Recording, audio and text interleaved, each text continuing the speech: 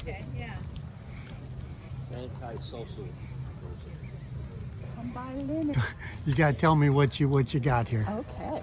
Well, at the Lawrence Farmers Market, right? I sell vintage linens, which I have collected over 40 years. Really? Um, the first one I bought because it reminded me of my grandma. No, I didn't say And then I bought another one that reminded me of my grandma. And now I have about 30 bins Wow. full of vintage linens, mostly tablecloths. Uh huh. I do research. Um, I clean them, I soak them, I boil them with a special cleaning compound.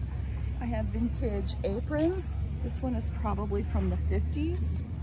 And I sell bouquets of flowers. So other people at the Lawrence Farmers Market sell food for your stomach, but I sell food for your soul. Indeed. To make a yes. pretty table with pretty flowers and a pretty tablecloth. That's great. And, And I am the Junque Gypsy, and I'm on Etsy, J-U-N-Q-U-E-E-T-S-Y.